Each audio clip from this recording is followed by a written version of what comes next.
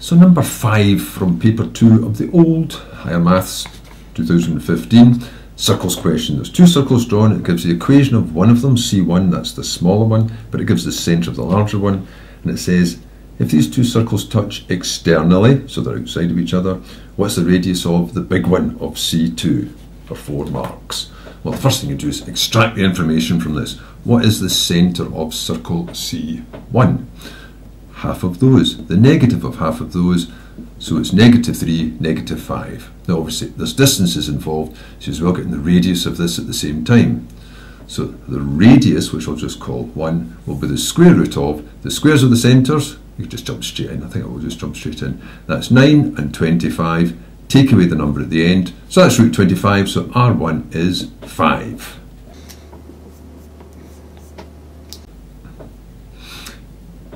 Next, if they're touching, then the distance between the centres, then C1, C2 would be the same as R1 plus R2.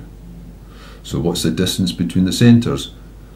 Well, that means you're going from, let's put it down here, negative 3, negative 5 to that. Now you could put that in a big formula, or you could just say you're going from negative 3 to, to 9, so that's 12 this is the distance here. I'm working out these, this distance between them.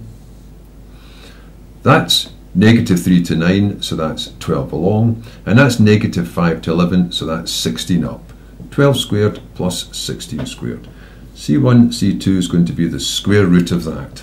You know the answer to that anyway, especially when you see it here in this diagram. Three threes, three fours, three fives. The answer to that is 20. The distance between the centres is 20 units. That means that R2 is going to be 20 minus the 5, so R2 is going to be 15 units. Now these numbers are going to be handy because that tells you how to move from C1 to C2. It tells you the steps you need to make. Because that was the important bit, distance between the centres.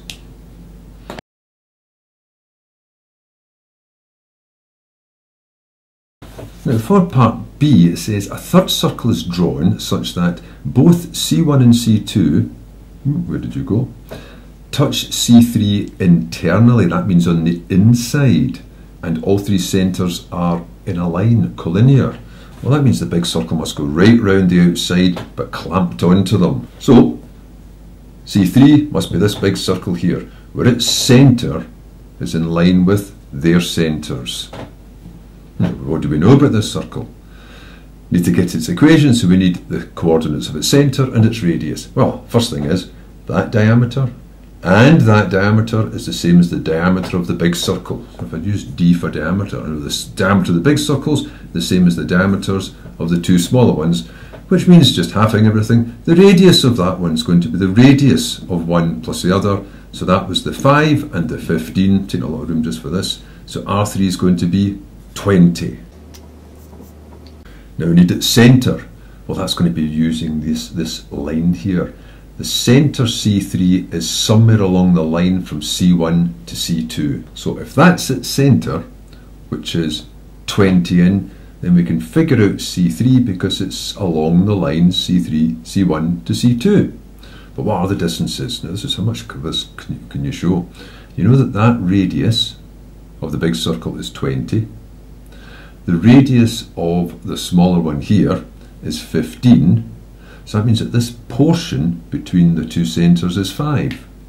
And if the distance between these centres is 20, that means that this part here between these two centres is 15. So what that says is C3 divides the line C1, C2 in the ratio of 15 to 5, which is 3 to 1 just doesn't look like it there because of the scales. So you can figure out C3 because that means that that's going to be 3 out of the 4 bits. So that means that going from C1 to C3, if you like, is going to be 3 quarters of the distance between them. We already had that. It's going to be 3 quarters of 1216. So that means it's going to be 9 and that's 12. So you can work out C3 Starting at C1, C1 was negative 3, negative 5, add on 9 and add on 12. That means C3 is going to be at 6, 7. And then put that all together for the equation of the circle. Radius 20, centre 6, 7. Equation of the circle, put it here.